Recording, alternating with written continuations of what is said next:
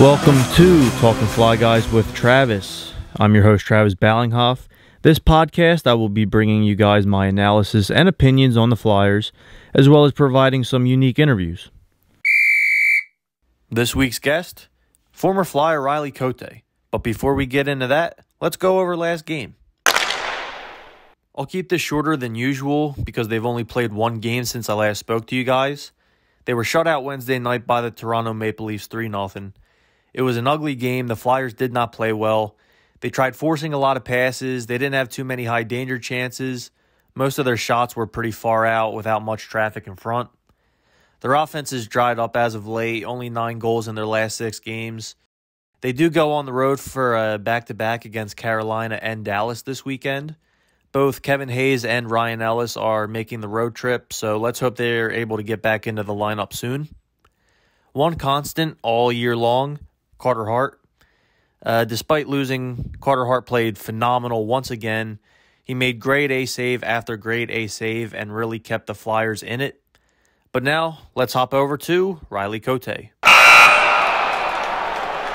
Joining me this week, this man played parts of four seasons with the Philadelphia Flyers, racking up 65 career NHL fights when adding up preseason, regular season, and playoffs.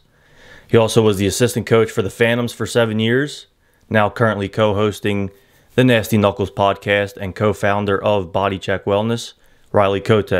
What's going on, Riggs? Not much, man. What's happening? Thanks for having me. Yeah, for sure. Thanks for hopping on. So let's get right into it. It appears that um, things have kind of dampered in Flyers land after that 3 0 loss. Seems like the mood kind of changed in the fan base, but what would you say uh, is going on with the overall start to the season?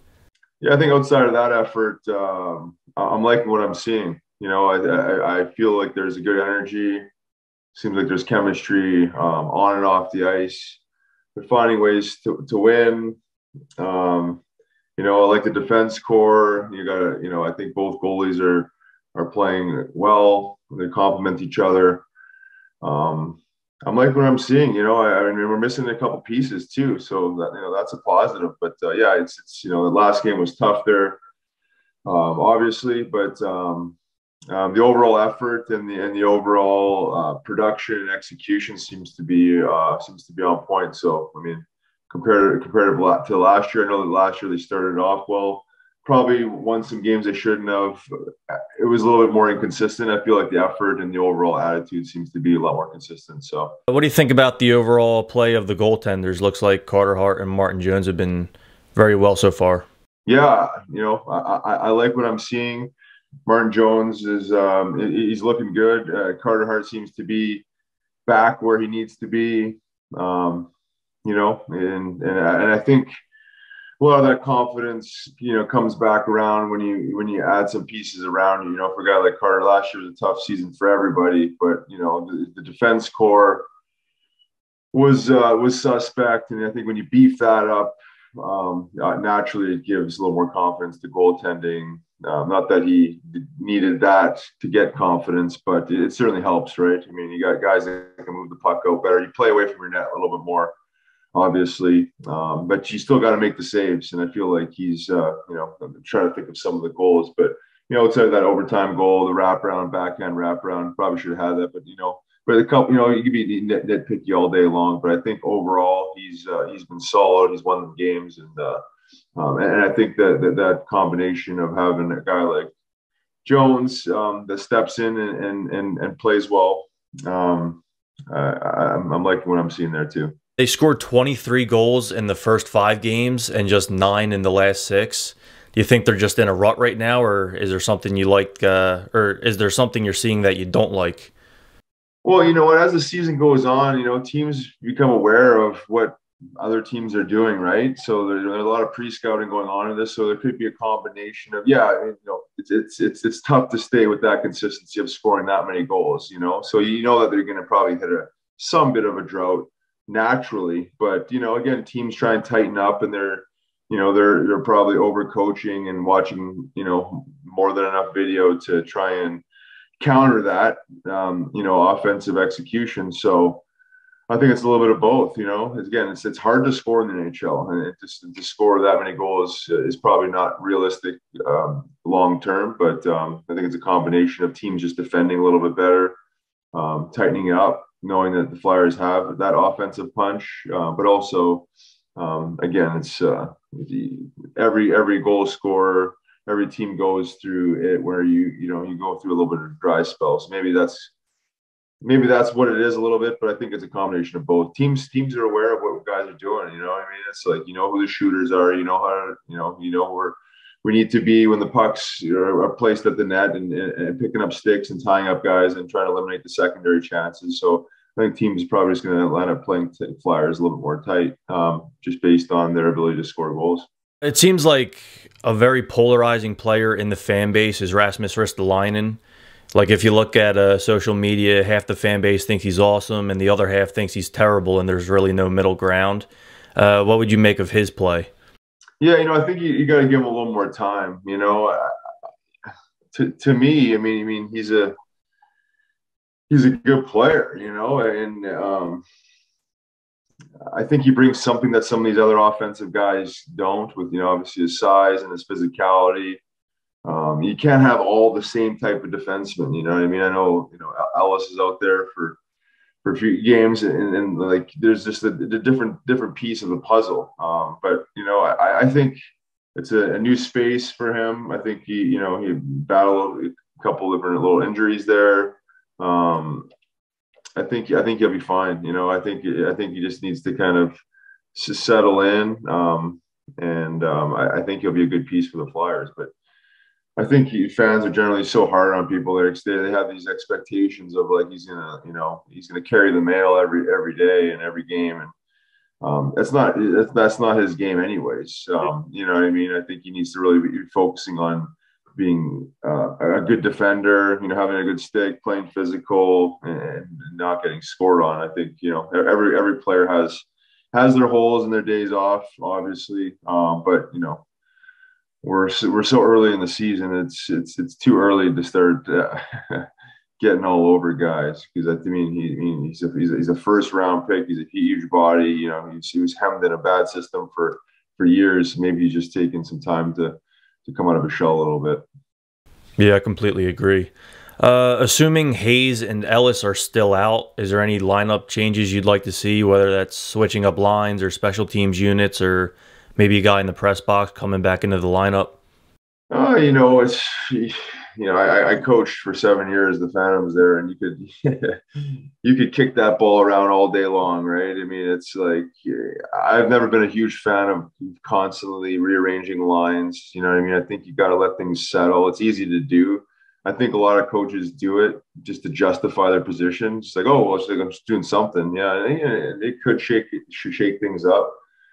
Um, but you know, outside of the last game there, I mean, I, I, didn't see anything wrong with what was going on. Um, um, to me, there's there's no real there's no real magical answer here with, with this stuff. I think it's just like as a collective unit, whatever line you're on, however it plays out, we just got you just got to show up and execute. You know what I mean? There's no if, if it was that easy, like you know, everyone would be doing it. You know, to just to, to make that simple fix, and then all of a sudden everything's going to be better. But uh, I think you just gotta, you know, like like let guys build that chemistry. If, you, I know, I know it's better like this year than last year, but like you know, as soon as something doesn't go right, just you know, blow up, blow up the house of cards and change everything up all the time, change up D pairs and all that stuff. It's like I don't agree with that all the time. Yeah, over time, if like this happens another game, in another game, well then yeah, yes, you gotta you gotta address something for sure. But I think the last game was just the you know just a just what you call it one of those games you just want to move on from and learn from. Um, but um, there's there's there's no, there's nothing there's nothing really to do besides just refocus and, and show up for tomorrow night's game on the road and, and get after it. You coached a lot of these guys in the minors, whether that's Sanheim or Sam Morin, Aube-Kubel, Laughton. I think he even coached Coots a little bit in the lockout season. How would you say some of these guys have developed since you coached them? Yeah, I mean they've come a long way. You know, it's it's a process, right? I mean, um, guys are coming out of junior hockey and they're the big dogs, and um, they, I, I, don't think they realize how how good of a league the American Hockey League is. So there's a little bit of a culture shock there, the speed, the transition. I mean, all these guys can play. Obviously, there's a reason why they're there in the first place. The reason why the Flyers or any NHL team would draft these guys is they they they can play. The biggest thing that I, I see is just the is, is not like so much that their ability's gotten better that they're just more confident hockey players. You know what I mean? Like you know, I look at Cubes. Um, you know, Cube was one of those guys that like you know he, he, he he's built like a shit brick house. He's he's strong. He's explosive but it was always up here for him. It was just like a little bit, you know, like in, in, inconsistent. But I've seen his game mature, where he, I think he understands his role a little bit more. Um, so he's able to kind of stay in his lane and and and and, and perform in a consistent way, not thinking that he's something he's not right right now in his career. You know, Sandy was he's an offensive defenseman. You know, he can carry the mail, but I think he, even for himself, I think part of the messaging always is like simplifying your game. Like, like you don't have to carry the mail every every shift and every time you have the puck. Like sometimes the best play is just moving the puck up 10, 15 feet and then jumping up in the play. They're always talking about activating the defenseman, getting him up in the rush and stuff like that. But Sandy, you know, he's obviously a great player um, um, already. But again, I think it's just the once you mature, you mature, you have more confidence, and then obviously the game seems a little crisper for these guys. They're just making stronger plays. So um, lots, lots has come a long way. I mean, this guy's had a um, an interesting road, being a first rounder, and I think what he played two or three years fully, and you know, and with the Flyers there, maybe maybe two, and then he landed up coming back down to the Phantoms for a full year. Could have gone the other way. Could have you know completely lost the guy, but you know he, he buckled up and and reeled in his mind and and and focused on his game and and, and was humbled. And you can see it. You know what I mean? He's he, he again he's in a more refined role um, in a role that he could be more successful in and find more consistency in um, comes with maturity. And then, you know, confidence comes with maturity. Um, you know, Sam, poor Sam is, is banged up there, but um, you know, I, I, think, I think the biggest thing, and it's kind of, I've said it several times here now, it's just like a, a combination of, you know, growing mentally, maturing, and then uh, the confidence comes along with it. You can see the difference between a, a confident player and a player that doesn't have confidence. I remember coaching, and, and, you know that was one of the biggest things that you hear from guys. I don't have any confidence. I don't have any confidence. And I remember Terry Murray the one time, you know, taking a, a blank piece of paper and, and, writing the word confidence on it and sliding it over to one of the players. It's like, here you go. And it's like, you know, like the coach can't give you confidence, right? Like that's something that you have to generate within. And it does come with more practice, more reps, um, just more experience, right? You get a couple of years pro underneath your belt, and um, you know, and, and it shows. So, um, you know, I, I, think that that's the biggest piece for these guys is to keep growing more mentally than physically. You know, I mean, the skills they have the skills. Obviously, you got to keep refining them, keep getting the, rep, the reps in. But I think it's it's it's up here. And if they can keep, you know, working on their game and, and becoming more mature, the, their confidence will grow, and then it'll it'll show in the game.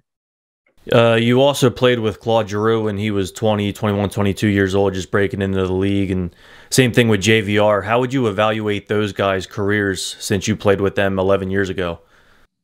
Yeah, I mean, um, amazing, both of them. I mean, um, you know, gee, I mean, to be the, the longest lasting uh, Flyers captain, you know, I mean, I don't know how many games he's played now, um, but I mean, the guy's the guy's amazing. We knew he was amazing back in the day.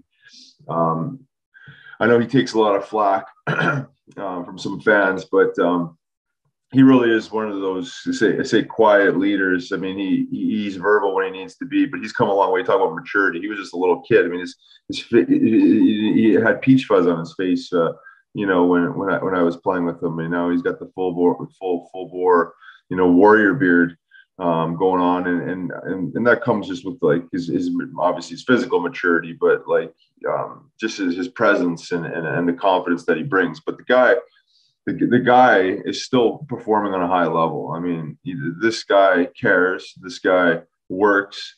Uh, you're not going to find a better passer, um, you know, available to, to, to ever replace this guy. Um, JVR, same thing. I mean, talk about maturity. This guy, we had him on our podcast as well, as well as Claude. But uh, as far as like just like just maturing and, and, and being stronger in his game, and, and, then like learning how to take care of himself, and then taking his game to a next level and self preservation. But like this guy, understands the off ice component and and how to prevent injuries very well, and you know just uh, he's taking his game to a whole other level. Um, but uh, it's nice to see these guys grow. I mean, you always know these guys have ability, but to stay in the league that long and, and stay healthy, you know, knock on wood, you know, that long, and to be able to to perform, um, you know, shows shows their character and stuff. So I'm. Uh, I'm proud to say that I play with these guys and, and, friends with these guys, but it's just nice to see them um, again have success and, and, and grow and and you know be a, be a big part of the team. Hayes and Ellis made the road trip uh, to Dallas, and well, they're playing Carolina and then Dallas. Uh, if they're able to come back, what kind of impact can those two have on the lineup?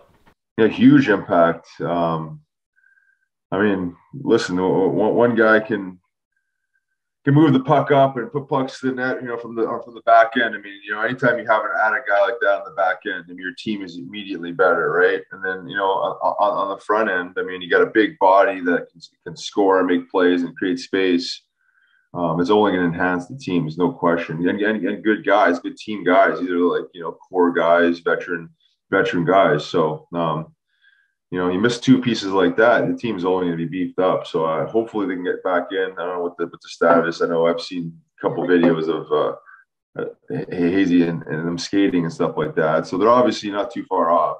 Um, and uh, whether, whether they get in or not, I, I don't know. But um, that means that they're, you know, if they're not in this this weekend, maybe they're ready for Tuesday or or Thursday or Saturday of next week. So, um, and, you know, for that homestand. But um, you know, two two great players, two great players that uh, could help this team um, build up the momentum they've created early in the season. The last one I got for you. You're playing in the Flyers alumni game on Monday. Is there anyone you're looking forward to seeing, playing with, playing against? Man, there's a lot of them. There's there's a lot, there's a lot of uh, a lot of guys coming in for the game. Um, you know, Upshall's one of them. You know, you know, a couple of these guys are, are around, but I just don't see them that uh, often, like Hartsey and and uh, and Danny B and and you know there's a good group of guys. Our Eshy's coming in. Um, and even a guy like Donald Brashear that I fought five times back in the day, you know, and he's coming in. So there's like a, ton of them. I mean, it's it's it's, it's an amazing uh, uh, set of players. You know, two full rosters of some some big names and, and guys that are meat and potatoes um, in flyer in the in the Flyers land. So um, I'm just excited to be to be around it, and you know, grateful for the opportunity. Um, but it'll be fun, man. I'm just, I'm really excited, looking forward to it. Uh, and you know, talk it obviously. I mean, and some of these guys coming in, Mark Howe, a lot of these guys we've had on the podcast. So nice to see them in the flesh and get on the ice with them and, and have some fun. So it'll be a great experience. Awesome. Uh, thanks for joining me this week, and I'll see you on Monday. Sounds good. Appreciate it, Travis. Make sure you check out Riles on Twitter and Instagram at RileyCote32. And make sure you check out Nasty Knuckles on YouTube, Twitter, Instagram, TikTok, and wherever you get your podcasts from. I hope you enjoyed our interview and make sure you tune back next week as I continue to post weekly episodes. This episode was produced, written, and edited by me. You can follow me on Twitter at TravieBallin26 Feel free to throw some suggestions my way, and I'll talk to you next week. Go Flyers!